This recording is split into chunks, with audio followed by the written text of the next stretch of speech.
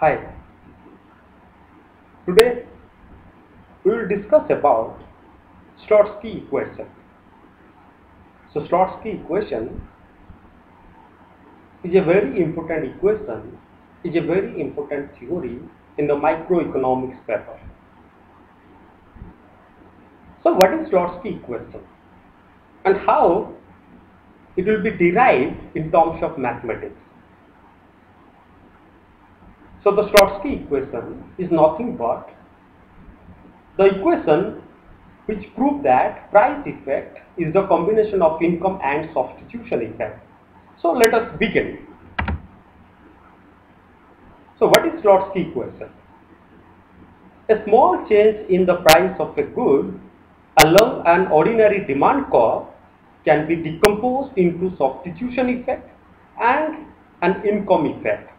So we can write it as the total effect of price change is the combination of substitution effect and income effect. Here it is written that total effect of price change is equal to the substitution effect minus income effect. Here the income effect is written in terms of negative. There is a negative sign before the income effect because the income effect is negative and why? Why the income effect is negative, we will also discuss. So, let us derive Slutsky equation and the derivation started from a statement that at the initial utility maximization point where utility is a given level u bar, the following condition holds. That means at the initial utility maximization point where utility is given. That is u bar at that time the compensated demand function for a good is equal to the ordinary demand function of that good.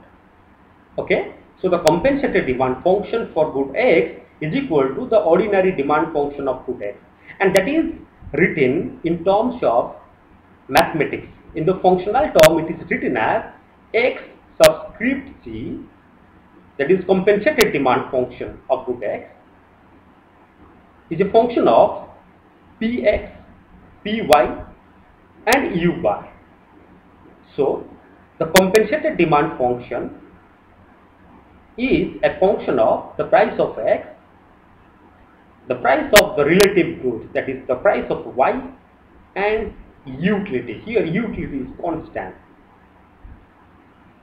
and the ordinary demand function or the uncompensated demand function is x of px, py and l. So here l stands for money, money income. Okay, one more thing, it should be clear here that the first demand function x of C, X subscript C.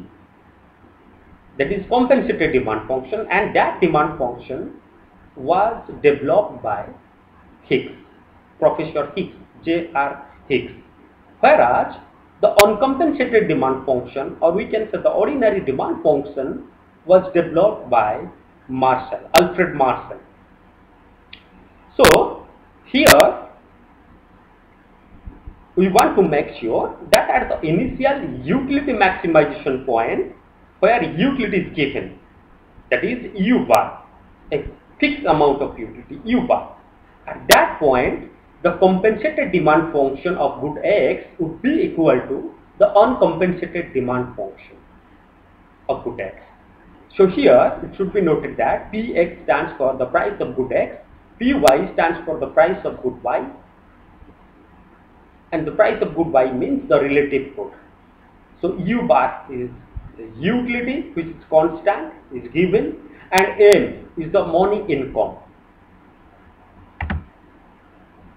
Okay, once again this equation is written that the compensated demand function is equal to the ordinary demand function or uncompensated demand function. Okay,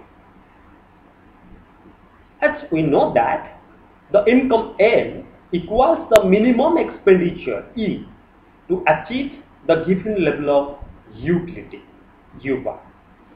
So by substituting the expenditure function that is E of Px Py u bar into the ordinary demand function we will get the following function. It should be noted here that the expenditure function is E of Px Py and u bar that is expenditure function. So by substituting this expenditure function in the above in the above function in the place of m, we will get the function as x subscript c of px, py, uy. That is the compensated demand function is equal to x subscript px,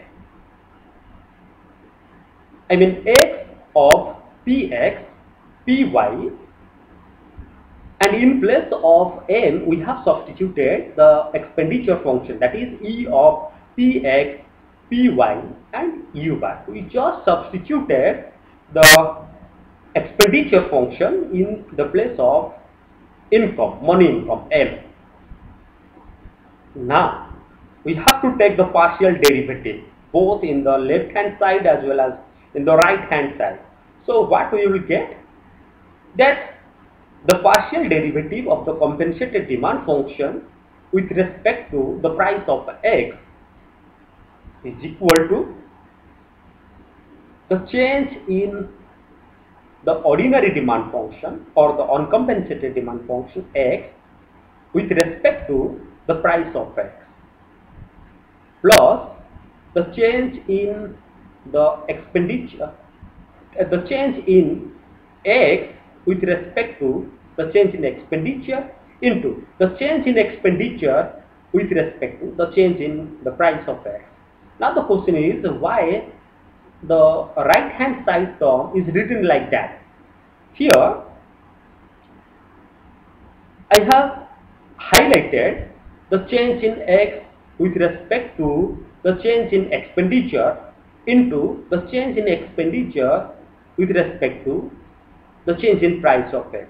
Here it is highlighted because the chain rule is applied here. In the above equation, we have used the chain rule. We have U chain rule. Why we have U chain rule? Because x is a function of E, where E is another function of the price of x. So, x is the function of e and e is again the function of px. So chain rule is applied.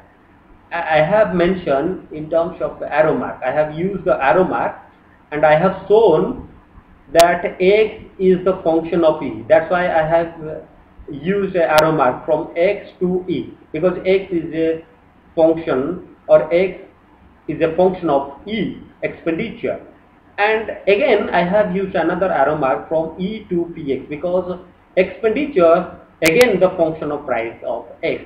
So we have used chain rule and because of that chain rule we have written here that the change in X with respect to the change in expenditure into the change in expenditure with respect to the change in price of X. That means X is a function of expenditure. That means the demand of X is a function of expenditure and the the expenditure is again a function of the price of X. Okay. Okay. Now we have to solve the above equation for the change in the partial derivative of x with respect to price of x and just by rearranging the above equation we have written that the partial derivative of x with respect to px is equal to the partial derivative of the compensated demand function of x with respect to price of x minus the partial derivative of x with respect to e into the partial derivative of e with respect to px. Okay, here it should be noted that the derivative of the expenditure function with respect to the price of x, px, the derivative of the expenditure function with respect to px equals x y. Or we can say that the change in E with respect to px is equal to x y. This is because of the envelope theorem. And Shephard's lemma. So what is Shephard's lemma? Now the question is what is Shephard's lemma? So Shephard's lemma states that the compensated demand function for a good can always be found out from the expenditure function by differentiation with respect to that goods price. One second. Shephard's lemma states that the compensated demand function for a good can always be found out from the expenditure function by simply differentiating with respect to that goods price. So, the change in the expenditure function with respect to price of x is nothing but just the compensated demand function, just x. So that is the envelope theorem. Or we can say that the derivative of the objective function in this case the expenditure function. Here expenditure function is the objective function. So the derivative of the objective function with respect to one of the shift parameters is simply the partial derivative. So here the shift parameter is the price of the x and here the objective function is the expenditure function so the derivative of the objective function with one of the shift parameters is simply the partial derivative Therefore, the change in the expenditure function with respect to price of a x is simply equal to x. Okay, here how how that is possible, how it is derived, we have written.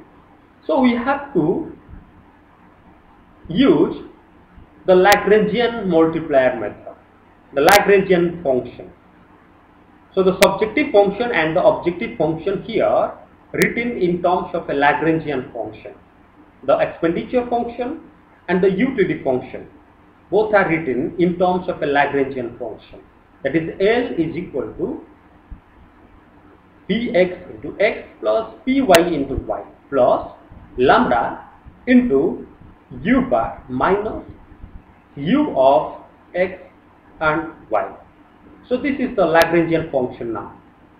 Now differentiating the Lagrangian function with respect to the price of x that is equal to the partial derivative of the expenditure function with respect to the partial derivative of the price of x and that would be equal to x. If we solve this Lagrangian function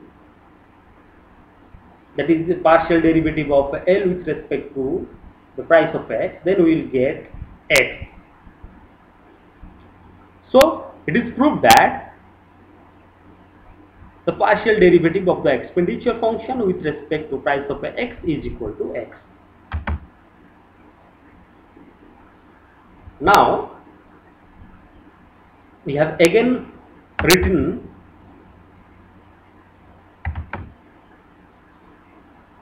that the partial derivative of x with respect to px is equal to partial derivative of the compensated demand function with respect to price of x minus partial derivative of the uncompensated demand function that is x with respect to expenditure into the partial derivative of the expenditure function with respect to px. Here we just repeatedly write that. So Now, as you know that the partial derivative of the expenditure function with respect to the price of x is simply x due to the Shephard's lemma or envelope theorem. Now, we have to substitute the change in expenditure with respect to price of x as x in the above equation. So, the above equation is written like that. the change in x with respect to px is equal to the change in the compensatory demand function of x with respect to px minus x into the change in x with respect to the expenditure. Here, it should be noted here that the change in income that is A and expenditure E are same thing for an uncompensated demand function, for a Marshallian demand function. The change in expenditure and income both are same for a Marshallian demand function, means for an uncompensated or ordinary demand function. Therefore, we have written that the change in x with respect to the price of x is equal to the change in the compensated demand function with respect to price of x minus x into the change in the expenditure for, I mean the change in the uncompensated demand function with respect to money, M, money income. And this is the final derivation of Slutsky equation. So here in the final equation, the change in uncompensated demand function with respect to price of x is known as the price effect. Whereas the change in the compensated demand function with respect to price of x is substitution effect minus x into the change in x with respect to change in n. So the change in x with respect to change in m, or the change in the uncompensated demand function with respect to change in income is known as the income effect. So finally we got that price effect is the combination of income effect, I mean substitution effect and income effect. So this is all about the derivation of Slutsky equation.